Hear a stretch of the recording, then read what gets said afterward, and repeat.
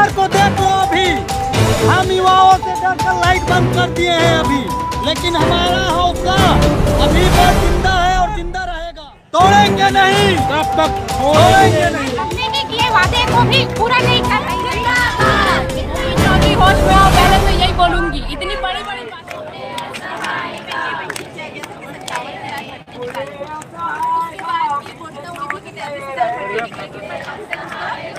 ज़रूर सफल होंगे।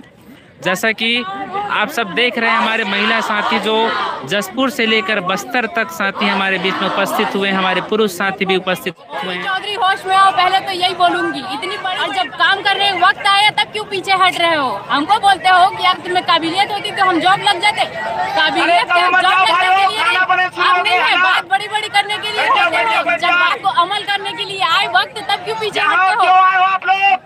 इंडिया लेवल लेवल के ऊपर अपना रिकॉर्ड ना बनाए कि छत्तीसगढ़ में कोई भी वैकेंसी लाने के लिए संघ को आंदोलन करने के बाद ही कोई भर्ती निकलती ऐसा ले- इंडिया लेवल पर अपना पहचान ना बनाए। सरकार अपने ही किए वादे को भी पूरा नहीं कर रही है। जब वादे किए हैं घोषणा पत्र में जो शामिल किया है उसको पूरा ही करना चाहिए। जी बहुत बहुत धन्यवाद मैडम। आपने अपनी बातों को अपने विचारों को सबको मैं हमारे साथियों से पुनः जोड़ रहा हूँ और आप सबके लिए संदेश इनके द्वारा दिया जा रहा है तो मैं निवेदन करूँ जब तक तैतीस हज़ार नोटिफिकेशन नहीं आएगा तब तक हम घर नहीं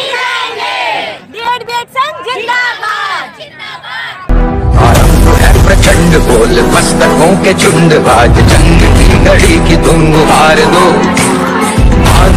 शान या की जान का हो दान आज एक धनुष के बाण पे उतार दो। है प्रचंड बोल मस्तकों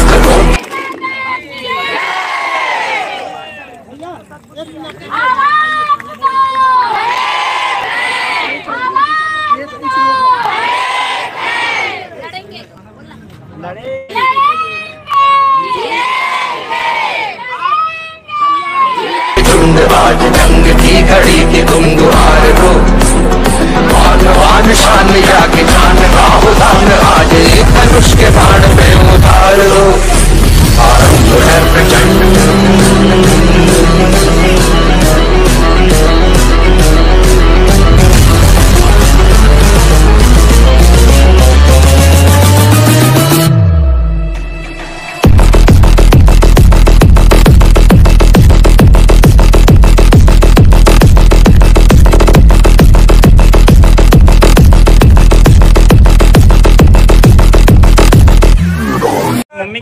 करने के लिए यहाँ पहुँचे हुए हैं।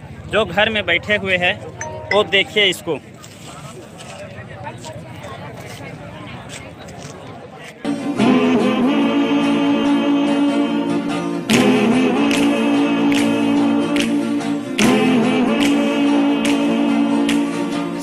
गया ये जहाँ, सो गया आसमां, सो गया ये जहाँ सो गया आसमां, सो गई है सारी मंजिलें, ओ सारी मंजिलें। सो गया है रास्ता, सो गया ये जहाँ, सो गया आसमां, सो गई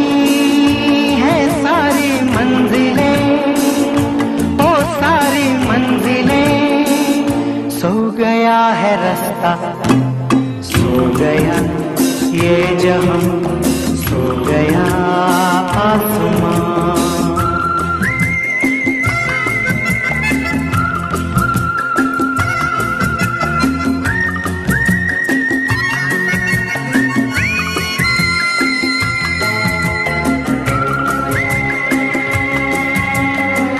सभी को ज्ञात होगा, पिछली बार जब हमने आंदोलन यहीं पे किया था तो बीजेपी प्रवक्ता गौरी शंकर जी ने आके हमें आश्वासन दिया था कि हमारे प्रतिनिधिमंडल को मिलाएँगे कर लेकिन वो भी एक झूठा साबित हुआ।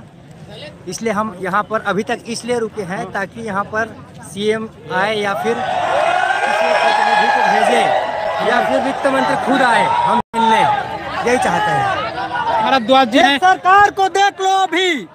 हम युवाओं से डर कर लाइट बंद कर दिए हैं अभी।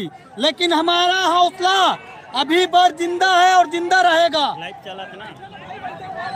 देख लीजिए आप लोग। संघर्ष कहाँ तक टाला जाए द्वंद कहाँ तक पाला जाए फेंक राणा का पंस- वंशज है। फेंक जल जहाँ तक जाए भैया। जब तक तोड़ेंगे नहीं तब तक छोड़ेंगे छोड़ेंगे नहीं। ये ये वही युवा है ओपी चौधरी जी जो आपको सरकार में लेके आए थे। ध्यान से सुन लीजिए आज इन्हीं का आप नहीं सुन रहे हो। कित, कितने ऐसे बेरोजगार भी बैठे हैं गाँव में जो जो दर दर का ठोकर खा रहे हैं बेचारे लोग। काम के तलाश में कुछ काम है ही नहीं पूरे निकम्मा बना दिए हो छत्तीसगढ़ वासियों को आप जो है। नमस्कार साथियों मैं अरविंद कुमार नेताम मैं बिलासपुर ज़िले से आया हूँ शिक्षक भर्ती की मांग के लिए। और यहाँ हमारे जैसे कई बेरोजगार साथी आए हुए हैं अपनी अपनी उम्मीद लेकर बंद कर दिया गया। मतलब आप समझ सकते हैं शासन की प्रशासन की नाकामी किस तरह है? आप ये वही छत्तीसगढ़ की सरकार है जो ऐसे ही आज युवाओं को अंधकार में रखा है ऐसे पूरे छत्तीसगढ़ पूरे जनता को रखे अंधकार में। यहाँ वोट केवल जो है जाति धर्म के नाम पे मांगा जाता है। अब विकास के नाम पे वोट नहीं मांगा जाता है और हम लोग भी वैसे ही हम लोग को टोपी पहना पहना के कब तक चले जाएगा भाई? आप लोग जो है छत्तीसगढ़ है सबसे बढ़िया के नाम पे कब तक ठगाएँगे? ऐसे नहीं ठगाना है और ऐसा हम लोग को इस बार का पंचायत चुनाव में सोच समझ कर वोट करना है और इस निकम्मी और इस जो है, इस जो है भैरी सरकार को बताना है कि हम लोग का ताकत क्या है। आज ओपी चौधरी सभी युवाओं को टोपी पहना हैं। हम उसी चौधरी की चुनाव कर हम युवाओं ने उनको बढ़ चढ़कर चुनाव में जिताए। आज वही इन युवाओं के विरोधी बनकर बैठे हैं और इतने नाइट में भी यहाँ कुछ सुविधा नहीं है। लाइट को बंद कर दिया है और यहाँ से उठाने के लिए प्रेशर दे रहे हैं और हम जब तक कोई प्रशासन के अधिकारी लोग नहीं आएँगे, मंत्रिमंडल के कोई नहीं आएँगे, तब तक हम यहीं रात भर पूरे रात भर बैठेंगे, बस मैं इतना चलिए, यहाँ से बहुत लापरवाही की जा रही है। देखिए, हमारे साथ इतने सारे महिला साथी जुड़े हुए हैं। और सर सरकार को किसी भी हालत में तैंतीस हज़ार शिक्षक भर्ती करनी होगी और जब तक हम लोग नोटिफिकेशन नहीं लेंगे तब तक हम लोग यहाँ से घर वापस नहीं जाएँगे पूरे बोरिया बिस्तर लेके यहाँ पे बैठे हैं। और जब तक नोटिफिकेशन नहीं आएगा तब तक हम यहीं ही बैठे रहेंगे। प्रशासन झुक गई है इसीलिए लाइट बंद करवा दिया है इतना इतना मतलब ये सामने हम लोग जहाँ बैठे हैं वहाँ लाइट बंद करवा दिया गया है। ये ये कैसा है ये? सरकार को शर्म आनी चाहिए। पूर्व शिक्षा मंत्री गुरुजो मोहन अग्रवाल जी ने तैंतीस हज़ार शिक्षक भर्ती घोषणा हमारे विधानसभा जो कि एक मंदिर के समान है, वहाँ हमारे अपनी बात रखी थी ना, जो कि अपने वादे से मुकर रहे इसलिए हम लोग यहाँ पे शिक्षक भर्ती की मांग करने के लिए पूरा बीस अपना बी एड डी एड संघ यहाँ पे आंदोलन कर रहे हैं। आज हम लोग इतने जोश में है कि हम लोग यहाँ से चाहे नोटिफिकेशन निकाल के जाएँगे यहाँ पे यहीं चार से पाँच दिन लग जाए यहीं पर बैठे रहेंगे। जी। यहाँ तैंतीस हज़ार शिक्षक भर्ती लेने आए हैं। जब तक के सरकार हम लोग का सुनवाई नहीं करेंगे तब तक यहाँ से हम लोग हटने वाले नहीं हैं। चाहे महीने भर बैठना पड़े दो महीने तीन महीने साल भर क्यों ना बीत जाए। लेकिन आज के डेट में हम लोग को शिक्षक भर्ती यहाँ से लेके जाएँगे। ये प्रशासन किस कदर सदमे में है, डरी हुई है, आप सब समझ सकते हैं। मतलब समझ जाइए, क्या स्थिति सरकार की अभी बनी हुई है। हमारे साथ ये भाई साहब जुड़े हुए हैं। कौन से ज़िले से हैं? रायगढ़ से हमारे साथी। अपनी बात को रखते हुए। सभी अपने अगल बगल देख लीजिएगा। कोई बाहरी व्यक्ति या कोई कोई अनर्गल कार्य करने के लिए कोई हमारे बीच में थोड़ी घुसा है। क्योंकि जहाँ जहाँ बैठे थे वहाँ सब लोग थे। तो जान रहे हम लोग को यहाँ अनैतिक कार्य करने नहीं आया है। जो सरकार ने घोषणा किया है उस चलिए, इसी बीच में हमारे- तो इसलिए। हमारे साथ कर ले हम यहाँ से हटने वाले नहीं है। जी। वो लाइट गोल कर ले या फिर पानी बरसाए हम लोग यहीं बैठे हैं तो बैठे ही रहेंगे हटेंगे बिल्कुल भी नहीं। जी जी। कोर्ट माननीय हाई कोर्ट ने भी संज्ञान में ले लिया है कि छत्तीसगढ़ में कितनी ज़्यादा शिक्षकों की कमी है इसके लिए सरकार से जवाब मांगा है तो भी सरकार तक आवाज़ नहीं पहुँच रही है। आज ये अट्ठाईसवा दिन है आंदोलन का और आज यहाँ पर फिर से छत्तीसगढ़ के कोने कोने के सरगुजा संभाग से लेकर के दंतेवाड़ा के कोंटा से हमारे साथ साथी यहाँ उपस्थित हैं तो भी सरकार के कानों में जू तक नहीं देख रही है। क्या होगा यहाँ की शिक्षा व्यवस्था का? क्या होगी शिक्षा की गुणवत्ता का? क्या होगा यहाँ का? समझ में नहीं आता है। यहाँ शिक्षक की भर्ती आज ही नोटिफिकेशन जारी हो। बार बार कैसे जाएँगे सर इतनी सारी फाइनेंशियल प्रॉब्लम होती है इतने बैक बैकवर्ड ग्राउंड के हम फैमिली के बच्चे हैं बार बार ये हम अफोर्ड नहीं कर पाएँगे। जी जी। हम चाहते कि कि जिस समय विष्णुदेव साय जी मुख्यमंत्री नहीं थे तो उन्होंने विष्णु भूपेश बघेल जी पे एक टिप्पणी की थी कि प्रदेश में लगभग चार हज़ार स्कूल ऐसे हैं जहाँ एकल शिक्षक ही हैं। आज वो खुद सत्ता में हैं और उससे ज़्यादा संख्या में कितने? पाँच हज़ार से ज़्यादा स्कूल ऐसे हैं जहाँ एकल शिक्षक ही। उस पे क्या कुछ कहना चाहेंगे? कोई कुछ बात रखेगा अपनी? जी। नहीं चलो ठीक है। हाँ सर हमारे बस्तर में सबसे पहली बात तो हमारे बस्तर में एक हज़ार से भी ज़्यादा स्कूल बंद होने के कगार में युक्तिकरण के तहत।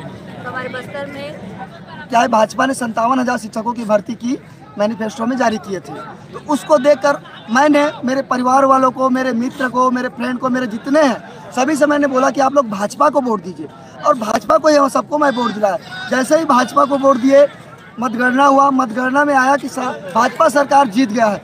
मैंने पाँच सौ रुपया, अपने पैकेट से पाँच सौ रुपया लगाकर फटाका फोड़ा था कि भाजपा की सरकार आई है। अब संतावन हज़ार जो शिक्षक भर्ती के वादा किए थे, उसको निकालेंगे। लेकिन ये सरकार सबसे बड़ी दगेबाज निकली। ये बोलती कुछ और है और करती कुछ और है। यहाँ तक कि विधानसभा में घोषणा कर देती, तैंतीस हज़ार भर्ती विज्ञापन बस पंद्रह दिन में निकलेगा। और मैं समझ नहीं पाता हूँ, सर, कि पंद्रह दिन उनका कब आएगा। ये सर धीरे धीरे बढ़ता जाएगा और भविष्य में भाजपा की सरकार कभी नहीं आई। फिर कर दिया गया है सर। अगल बगल आप दिखा सकते हैं। अगल बगल लाइन है लेकिन इधर लाइट दिखाई दे रही है पीछे भी लाइट दिखाई दे रही है। लेकिन जहाँ हम बैठे हैं फिर से वहाँ लाइट बंद हो गया। जी सर अपनी बात बात कंप्लीट करें।